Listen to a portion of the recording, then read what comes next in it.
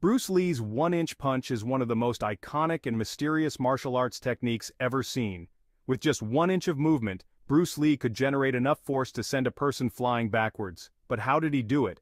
What was the secret behind this superhuman ability?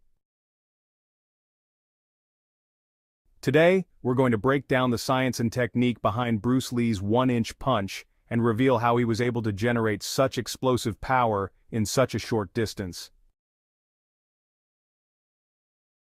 At first glance, the one-inch punch looks almost magical. But when we dive deeper, it's actually based on solid principles of physics and body mechanics. The key lies in kinetic energy transfer. Bruce Lee's punch wasn't just about arm strength, it was about using his entire body to generate force. Kinetic energy equals mass times velocity squared. The secret is in the speed.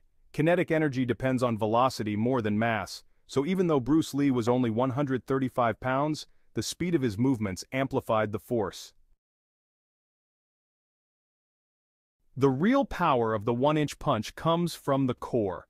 Bruce Lee mastered the art of engaging his core muscles and linking them with his legs, hips and arm in one fluid motion. When he threw the punch it wasn't just his fist moving forward, his entire body was behind it from the ground up. By rooting his feet, rotating his hips, and snapping his torso forward, Bruce could transfer all that force into a tiny focused movement, creating massive impact in just an inch of space.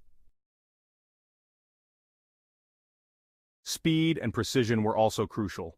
Bruce Lee trained to punch with incredible speed, using his fast-twitch muscle fibers to explode forward in an instant. But speed alone isn't enough. Bruce perfected the ability to strike with pinpoint accuracy, hitting his target at the exact moment his body was fully aligned to deliver maximum force.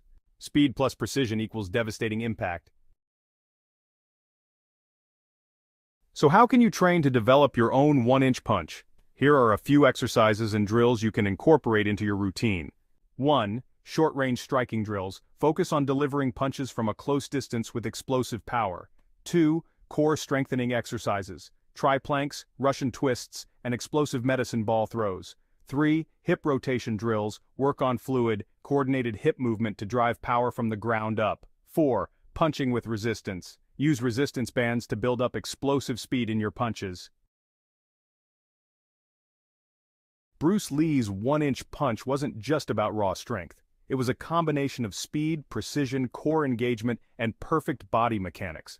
By mastering these elements, he created a technique that seemed almost superhuman and while it may take years to perfect, anyone can train to improve their own striking power by applying these principles. So next time you see the legendary one-inch punch in action, remember, it's not just about what's happening with the fist, it's about what's happening with the entire body, working together as one. That was Bruce Lee's true secret. Thanks for watching. If you found this video helpful, make sure to like, subscribe, and comment below with your thoughts. And don't forget to hit that notification bell for more martial arts breakdowns and tips. See you in the next video.